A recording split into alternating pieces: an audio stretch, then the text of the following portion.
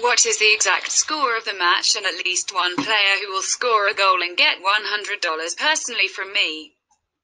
Leave the answers in the comments. Subscribing to the channel and liking the video are also required. We register by reference in the attached comment. Enter the promotional code. We get an advance rate on your account. After sharing the spoils with Bayer Leverkusen at Bayerarena, Leipzig will be looking to return to winning ways in the Bundesliga when they host Schalke at their Red Bull Arena. The Red Bulls continue life without Timo Werner, and seeing that first-choice centre-forward Yussuf Poulsen suffered an injury at the weekend, summer signing Hee Chan Hwang is widely expected to lead the line for the hosts.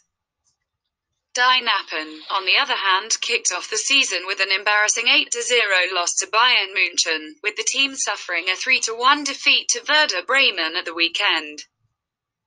Schalke 04 are low on confidence ahead of the trip to Leipzig, and seeing that talented defender Ozan Kabak must serve his ban against the Red Bulls, we predict that the visitors are going to return to Gelsenkirchen empty-handed.